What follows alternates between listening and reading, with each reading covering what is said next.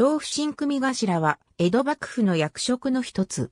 小府新を統括した小府新組支配の配下で、小府新組の各組に設置されて、小府新を統率した。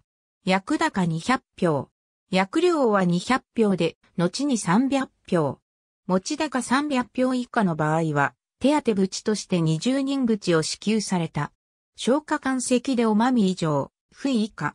おまみ以下の者や老年、幼少の者たちを監督し、小不信金の納入を管理した。延享3年6月に設置。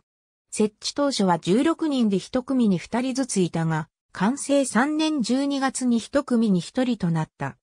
持ち高300票以下の組頭に手当淵がつくようになったのは、翌4年2月のことだった。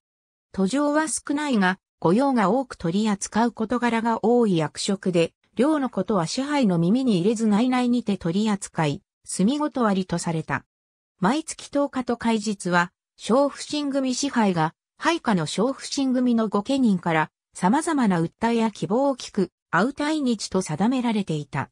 この日には、組頭がその者たちの要望や特技、生活の様子などを問いただし、書類にして支配に提出した。誤役につきたい者は組頭を通して要望を伝えるのだが、その際の組頭の威張り方は大層なものだったという。